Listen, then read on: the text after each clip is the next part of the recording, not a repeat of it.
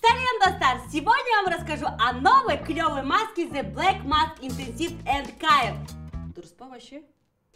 Салем, достар! Сегодня я вам расскажу о новой клевой маске. Это инновация в области медицины. И, блин, что там дальше?